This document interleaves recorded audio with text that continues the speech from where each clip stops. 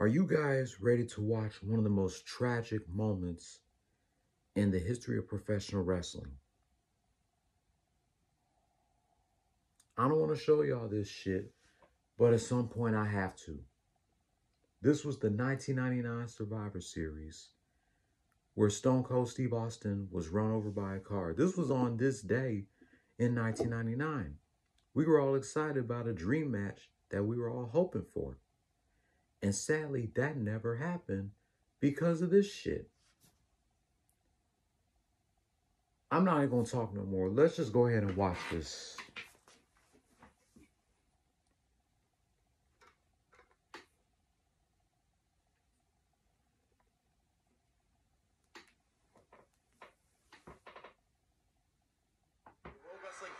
Championships await inside a triple threat match here. Hey, wait a minute.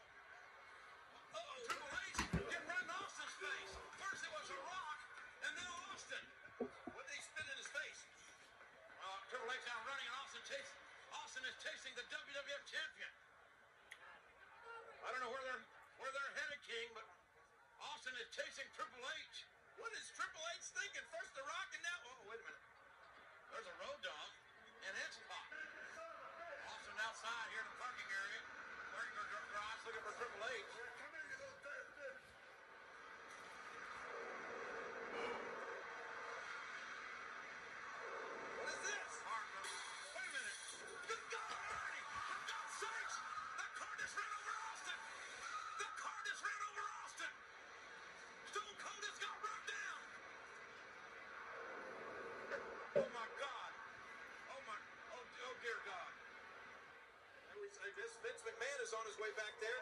Jr. is going back there. This is just unbelievable. I mean,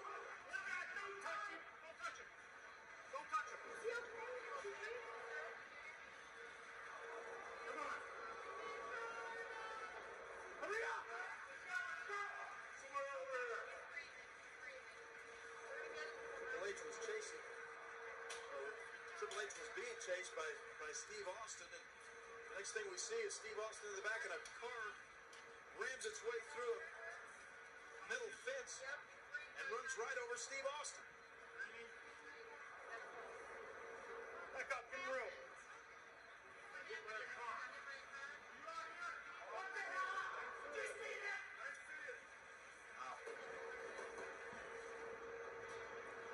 The head of security, Vince was asking him if we saw who did it.